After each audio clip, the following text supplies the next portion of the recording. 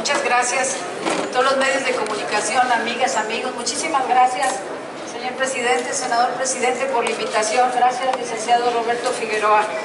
Primero quiero agradecerte, estimado senador Roberto Gil, por hacer, por atender ese gran llamado y por dejar bien parada a tu generación y a todos nosotros. Muchísimas gracias por estar comprometido con la sustentabilidad.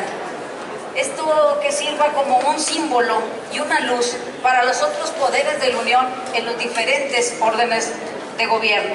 Desde 1987, en aquella gran conferencia internacional donde eh, lleva por nombre Nuestro Futuro Común, se acuña por primera vez el término desarrollo sustentable, que literal habla del desarrollo que satisface las necesidades del presente sin comprometer las necesidades del futuro. Hoy, a casi 30 años de esa fecha, con un desarrollo tecnológico más avanzado, con un desarrollo teórico, con un desarrollo práctico, al día de hoy somos menos sustentables. Por eso eh, es mi reconocimiento al presidente Roberto Gil por atender este llamado.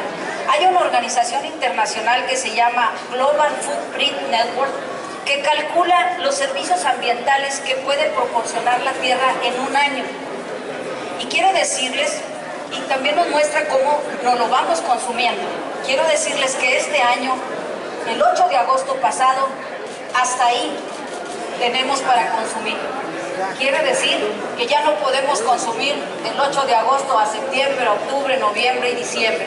Este les muestra esta organización de cómo estamos acabando con nuestros recursos y cómo está la sustentabilidad en el planeta. Pero quiero decirles, por ejemplo, que en 1970 este mismo cálculo pues terminaba el día 15 de diciembre.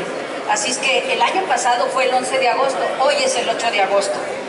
Vamos por la ruta correcta, señor senador poniendo el ejemplo, la muestra de este Senado sustentable, que al parecer pequeñas acciones como lo son hoy los bebederos, ayer dejar de imprimir la síntesis informativa, los acuerdos que vendrán para generar nuestra propia energía a través de paneles solares, las electrolineras, las compras de autos eléctricos, vamos por la ruta correcta. Por eso los felicito muchísimo a usted y a la mesa directiva por tomar estas grandes decisiones.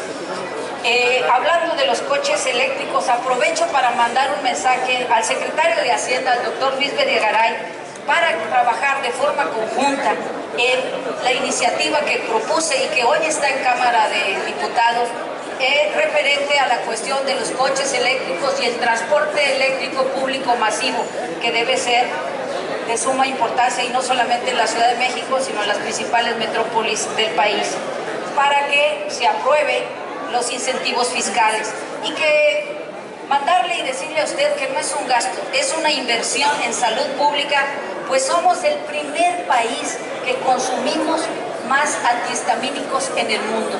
Así es que con alergias y enfermedades respiratorias le mandamos este mensaje con mucho respeto para que nos ayude a que la propuesta de su servidora, la iniciativa de coches y transporte público eléctrico masivo, sea aprobada en Cámara de Diputados, al igual que los incentivos.